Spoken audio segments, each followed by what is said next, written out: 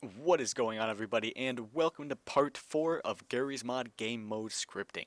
Today we are going to be adding armor to our HUD and also adding just a little bit more details to the health and armor. So let's begin, let's draw the armor display on.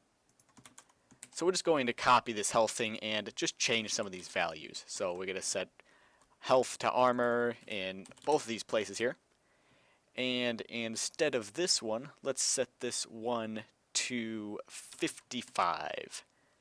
Move that one down just a little bit. So what we should get is when I open this up, we should have health and armor now.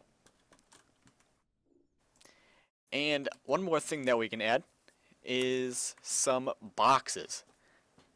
And these boxes will just be a graphical representation of how much health and armor the player has.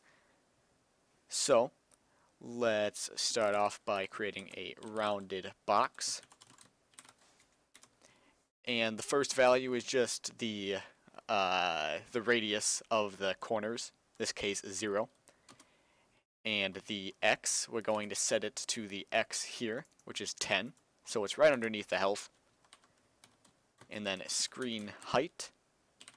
And we're going to subtract 75, so it's right underneath that health. And something new here, math.clamp. And this is going to take in three values. It's going to take in the client's health. It's going to take in a 0 and then a 100. And what this is going to do is it's going to find the middle number. So let's say 0 is the lowest and 100 is the highest. And then client health is always going to be in the middle. So it's going to try to find a number that's greater than 0 and less than 100 whatever number that is, is the value that's going to be set here. Next up is the height, which is just 15. And actually, one more thing here. We want to multiply this by 2.2, just so it looks a little bit better on or in our other rounded box, in the container.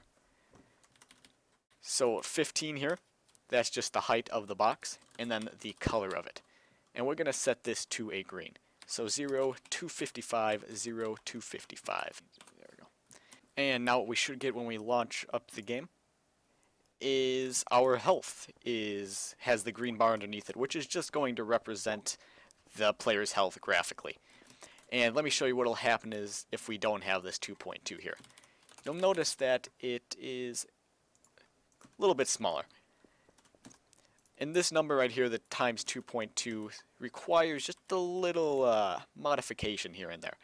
So maybe a 2.25 will make this look even on both sides. And, you know, that's pretty darn close, so we're going to keep it at that. And now let's add it for the armor. It's just the same exact thing, except instead of 75 here, we want this to be 15 minus whatever, or 15 minus 55 here. So we're going to set this to 40 and also the color here, we want this to be a blue. That's usually how armor is represented, at least as far as I know. And now we run this. And as you can see, we got the green bar for health and the blue bar for armor. And this should actually be armor, because we don't have any right now. And there we go, it's perfect. Let me give myself some armor here and you can see that it's going up. If I just kept giving myself some armor, it will end up getting to 100, and it's maxed out. So that is basically it for part 4 of Garry's Mod Game Mode Scripting. Hopefully you learned something, and don't worry if this looks ugly to you right now. I know it looks ugly, but we will be making this look better later on, and if you want to go ahead and mess around with this, see if you can make it as fancy as possible. That's a little challenge for you.